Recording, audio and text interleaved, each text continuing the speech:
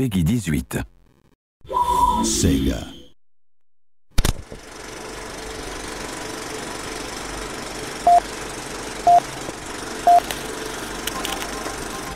Red lights at night, Yakuza delight.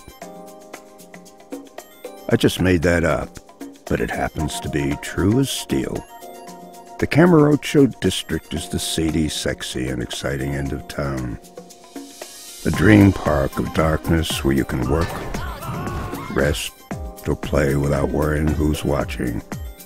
Sit and unwind with a beer as the girl you've been eyeing winds her body round a pole for an hour. Take a payment, make a payment. Over the table, under the table. Just be sure to ask for a fresh tablecloth when you're done. Gambling, karaoke, or something stronger?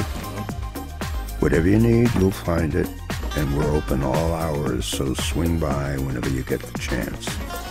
Because for the Yakuza, getting to know Kamurocho is part of the job. The rooftops, loading bays, back doors, street layouts.